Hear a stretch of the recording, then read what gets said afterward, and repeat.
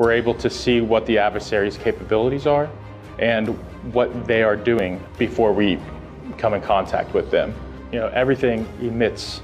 Um, so a signal intelligence analyst is somebody who takes those emissions from phones or radars or uh, fax machines, emails. Basically, we're, we're taking signal emissions and we're figuring out we're piecing together what they can do. We can glean information from adversarial threats. So for instance, we could know troop movements or something like that from signal intelligence. We could know uh, what a radar can do, to protect our pilots. So we know a radar can see out a certain distance. Our pilots know not to fly that distance in front of that radar because it could shoot them down. We have a very diverse background. So not only are we those nerds that sit behind the desk and do math all day, we also are, are running with special operations. We're sitting in planes flying, doing collection.